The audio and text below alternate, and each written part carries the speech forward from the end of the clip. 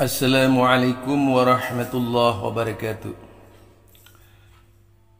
Kembali bersama saya Zulkarnain El Maduri. Fa inna ahsanal kalami kalamullah Wa khairal huda huda Muhammad sallallahu alaihi wasallam Wa syarrul umuri muhdasatuha Fa inna kulla muhdasatin bid'ah Wa kulla bid'atin dalala Wa kulla dalalatin finnar. Halo jemaah sunnah berbicara zikir itu kalau di dalam Imam As-Satibi zikir itu ibadah. Ibadah mahdoh zikir itu bukan. Ada zikir yang disebut biasa ibadah gairu mahdoh misalnya zikir kauniyah memikirkan tentang alam semesta yang diciptakan oleh Allah. Tapi ada zikir ibadah mahdoh Salah satu bid'ah, salah satu bid'ah. Saya sudah pernah mendefinisikan apa itu bid'ah.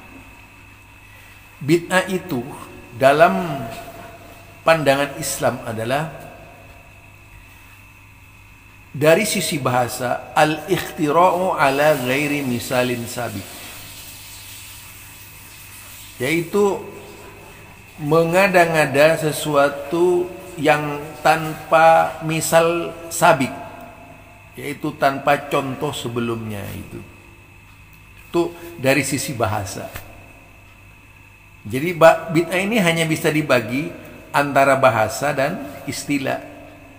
Jadi tidak ada tidak bisa dibagi-bagi menjadi yang lain-lainnya gitu.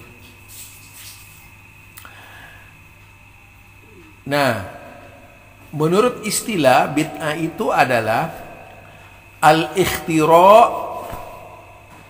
eh tariqah yaitu tariqatun fiddin bid'ah itu adalah suatu tariqah di dalam agama. Suatu yaitu apa namanya cara di dalam agama. Sistem hmm, manhaj yaitu suatu tariqah suatu manhaj. Mukhtara'atun mukhtara'atun yang sengaja diada-adakan tudahiyah syar'iyyah menyerupai syariat.